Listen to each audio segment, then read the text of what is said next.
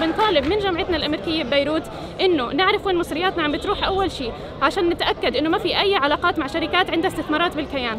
وثاني شيء بنطالب قطع كل العلاقات مع شركة تحديدا شركة اتش بي لأنه شركة اتش بي عندها تكنولوجيا بتستهدف وبتقتل الفلسطينيين.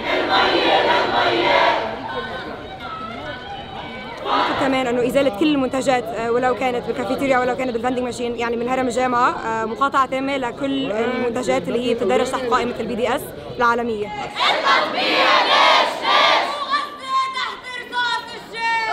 ونحن كطلاب لازم نكون عندنا موقف ولازم نكون عم ننتفض خصوصا باللي عم يصير بأمريكا بالجامعات الأمريكية إنه الطلاب هونيك بس عم ينتفضوا عم ينقمعوا.